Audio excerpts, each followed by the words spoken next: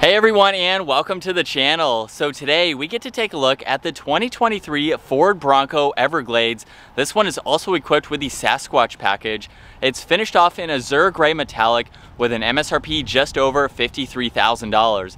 Now this specific Bronco is powered by the 2.3 liter EcoBoost four cylinder engine that's paired to the 10 speed automatic transmission pumping out 275 horsepower, 315 pound-feet of torque. That power is primarily sent to the rear wheels. However, this does have the four-wheel drive system, propelling this 4,800 pound SUV from 0 to 60 in around 7 seconds. Top speed is 106 miles an hour. It also has a fuel capacity of 20.8 gallons. You'll expect to see around 18 miles per gallon in the city, 17 out on the highway. This has a wheelbase of 116.1 inches, its overall length is 198.9. It has a width of 75.9, a height of 78.7. Its ground clearance measures in at 11.7 inches, and it also has an approach angle of 37.8 degrees, a breakover angle of 26.3, and a departure angle of 37.1 degrees.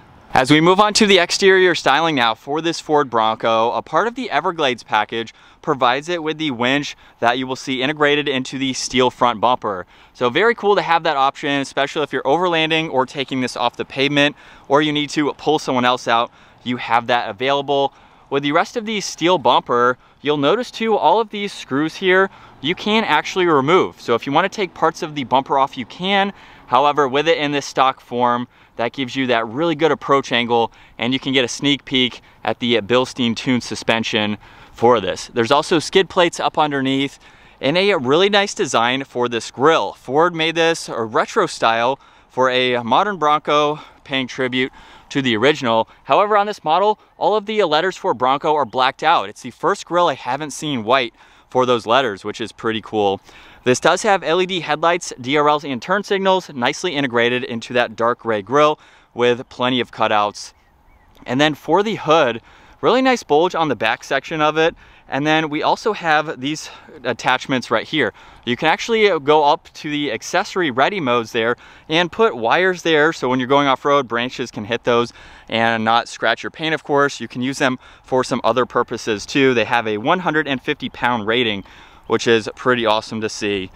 But we have a good looking front end design and as we work our way to the side, the Sasquatch package provides us with the 35 inch tires and the 17 inch wheels. They are finished off in dark carbon gray. Very cool retro design for this model. This also has the high clearance fender flares, which are pretty thin, but give you a little bit more clearance, of course, up front and in the rear. And this also has a Bronco snorkel. So this allows this Ford model to wade through just over 36 inches of water. So you have a very capable SUV. We even have the Everglades badge with this really cool trail map and Sasquatch, we found him. He's in the bottom of that sticker there. Now this also has the hardtop roof along with the roof rack system which is currently installed. It has steel side steps. It looks like you can remove the step portion. So if you want just a slider, you can add the step for daily driving and take them off when you are hitting those trails. Really good design with the line going just above the door handles there. And then in back, full size spare with the same wheel, third brake light, wiper blade is located back there too. This does have LED taillights and then the steel rear bumper with all the parking sensors, there's one tow hook, and this can even tow right around 3,500 pounds. As we work our way to the cargo space now, we do have the swing style for the rear end. It does have a shock there, and you can actually open that up pretty far. Even with a full-size spare, it's not all that heavy.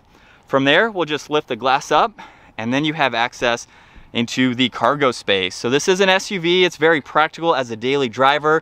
We have the lassos there around each of the tie down hooks in all four corners so you can safely secure any items. Another Bronco logo. And if I lift up the floor, a little bit of storage space along with the toolkit. Now one thing that is interesting to note, it does not have an area to place all the bolts when you take the doors and the roof off. I think that's something that it should definitely have. It is not located in the back here, but over on one side, we have a 12 volt with the Bronco logo there. We also have a little bit of storage and a, another connector there. So when you do take the roof off, you can attach that and have somewhere to put it. You can also fold down the back seats. There's a little bit of a step, not really all that bad. And it makes it a lot more practical and usable, especially if this is your only vehicle. It's an SUV. So it is very, very practical. Now, as we work our way to the back seats, the interior on this model has a really nice look. We have some gray accents, both on the upper section, on the armrest, and then down on the grab handle. There's also a net down below too, so you can actually fit in a lot of items since you have that adjustable net. And then for the back seats, really nice two-tone design for these leather seats. And something really cool, I haven't noticed this on any other Bronco, we actually have a drain plug that we can open up and we have the weatherproof all-weather floor mats here. So let's just say you're going off-road, maybe you have too much water in the vehicle, you can drain it. You really don't have to worry about cleaning it that much because it seems to be a really good material that can clean well. Now, as we hop up into the back at five foot 10, I have plenty of room for my feet and my legs. We also have this attachment here where you can place some smaller tools. Nets are just underneath that on both seats there. Right in the middle, we have the window controls along with some auxiliaries, even a three prong outlet. And as far as headroom goes, I have four, five, maybe six inches above my head. This hardtop also has the insulated pad too, just to make it a little bit quieter, a little bit less wind noise out on the highway. But I have plenty of room in the back. Now these seats do not recline, but they still have a good position to them. And then there's no armrest or anything right in the middle there. But we have a good look at visibility. You can fold down the headrest too, when no one is in the back, and then a grab handle for that other passenger seat. This also has the keypad, or of course you can grab the door handle and use the key fob itself. But taking a look at the door panel now, just like the rear one with the same designs, we have a little bit more storage. And on all of the doors, there's also a lift point up underneath. Since you can easily remove these doors, I'll have a video down in the description taking a look at how to do that process, but it just makes it that much easier when you are ready to remove the door. And you'll notice too, that these side mirrors are not attached to the door. So that makes it much lighter. They're also pillarless too, which makes them smaller to store. And then for the front seats, Bronco logo right in the middle, two-tone design. These are manual adjusting. So we have those controls on the side as well as the bar up front to slide them forwards and backwards. And we do have a grab handle for the front passengers located right there. And with this steering wheel, it is finished off in solid leather. On the left side, cruise control settings, lane keeping assist, and volume. Right side, you have Bluetooth and voice commands along with tuning, and all of these are for the gauge cluster. So let's fire this back up, where you'll notice that the engine start stop button is like the headlights with the DRL and turn signal right next to it. Would be cool to see that illuminate at night. let's fire this up and hear what this EcoBoost sounds like.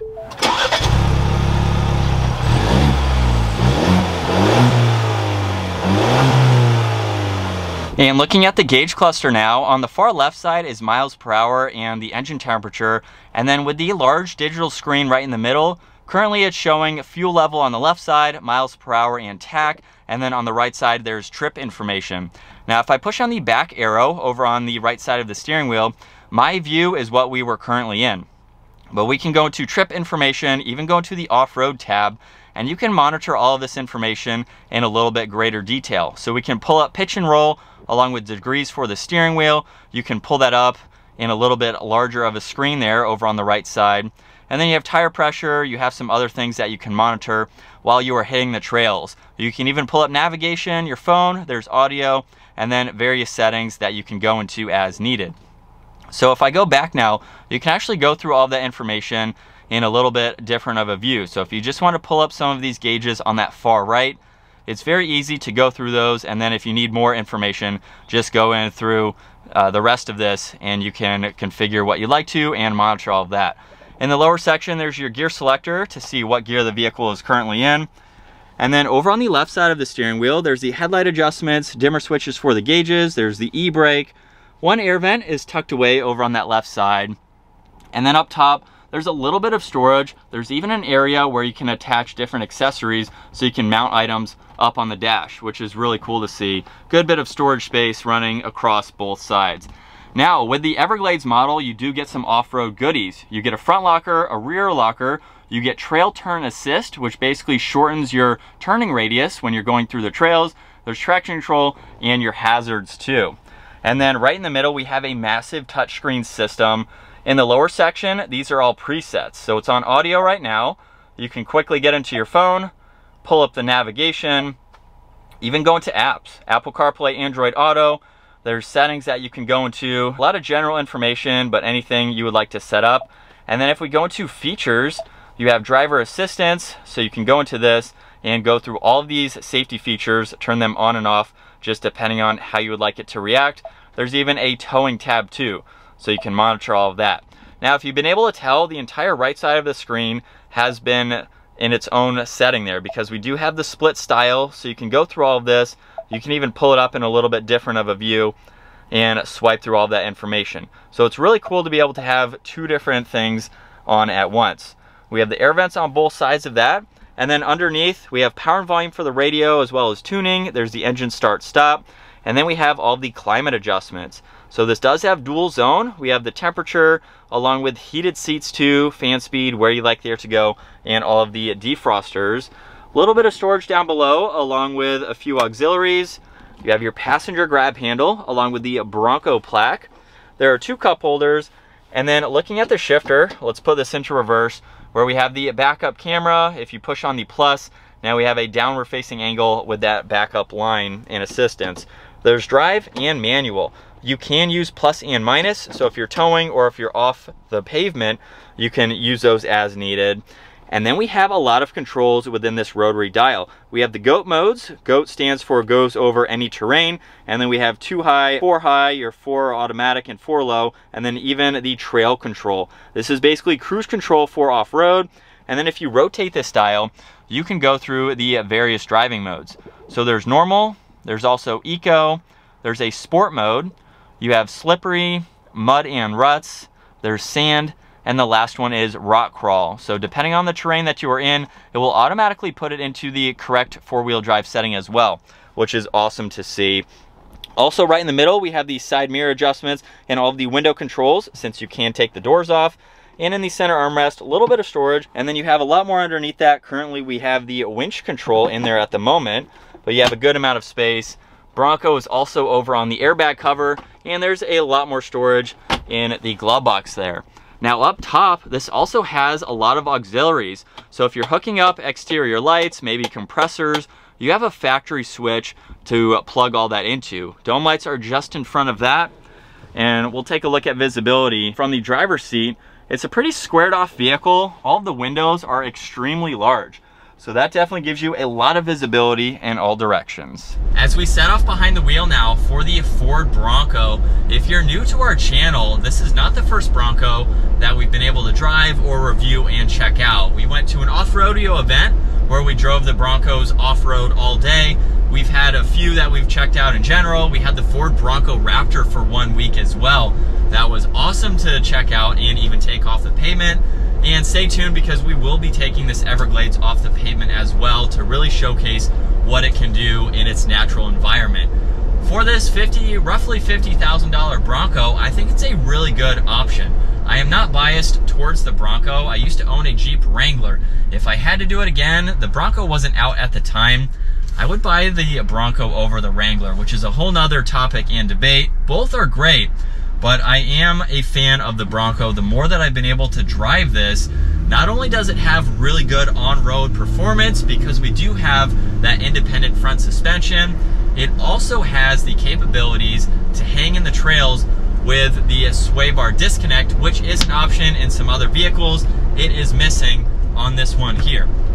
So that'll be something to point out when we take this off the pavement to see how it does without the ability to disconnect that. The Raptor had it. There's a few other Sasquatch packages and trim levels that will give you that switch. And so now let's test the power that this 2.3 liter EcoBoost four cylinder has. I put it into sport mode, which activates four wheel drive auto. And pedal to the floor, we get up to speed. It's not the most powerful engine that is available for the Bronco, but it's going to be one of the most economical for it and it's pretty cool. You can hear the turbos just a little bit from that engine.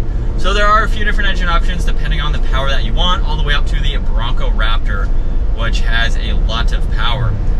But as we're driving this down the road, I'm not sure if you will be able to hear or not. It does sound a little bit like the windows are down. It is a windy day today, so that of course that's going to affect it. This is not as well insulated as vehicles that nothing can come off. So even on the Jeep Wrangler, it's very, very identical. It's not something that I want to point out as a negative. I would absolutely buy this vehicle, and that's something that you just have to kind of get used to in a sense because you can take everything off, the doors, the roof off. It's something that is to be expected with this type of vehicle. And in sport mode, second gear, here we go.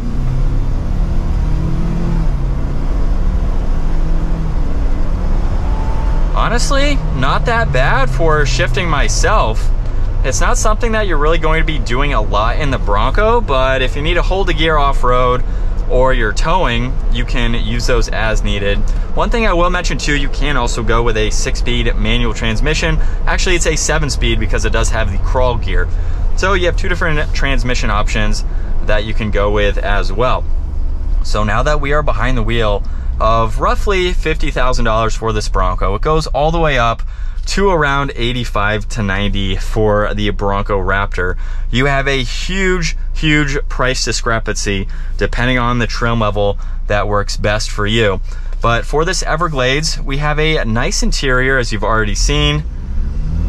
And we do have the smallest engine, but still has some good pep to it to get up and move. But I really like the Bronco. I like the visibility that you get. Everything is kind of squared off. We have a pretty steep rake to this windshield, very thin pillars too. You're very high up too. It's an SUV, but it's almost like a lifted SUV. Obviously we have the, the 35s and everything, so it is a bit taller, but you sit up very high, which is nice. And it's not that big of an SUV either, so you have quite a small footprint to it as far as maneuverability goes, not only in parking lot situations, but even taking it off-road. It's something that's pretty compact. So it's definitely easy to drive. And I can see the appeal for both this and the Jeep Wrangler. They are just fun SUVs. It's not something that I would say is a long distance vehicle. You can absolutely travel in the Bronco, in the Wrangler, and go long distances. But in my personal opinion, this is more of a city type of vehicle. On back roads like I'm on right now, it's something just to have fun with on some shorter distances. So the wind noise, things like that, it's not something that's going to annoy you over time because you're not driving it long enough for, for that to happen. But it's definitely fun to drive, very composed on the road and it's it's a fun toy is what I'll call it. It's definitely a, a good daily. You can absolutely daily it. Uh, but very cool. You have so many different options. You can get a soft top too if you'd like. It's a little bit easier to flip up. However, I don't think you can do the roof rack system with the soft top. So you can get a bunch of accessories and options just depending on what suits you best for your Ford Bronco. But that is going to wrap it up for this 2023 Bronco Everglades. Make sure you guys subscribe. Stay tuned for the off-roading video in this Everglades, as well as check out the rest of the Bronco content that we have. Give it a huge thumbs up if you enjoyed this video, and consider smashing that subscribe button so you don't miss out on our daily uploads. I will see you all in the next video.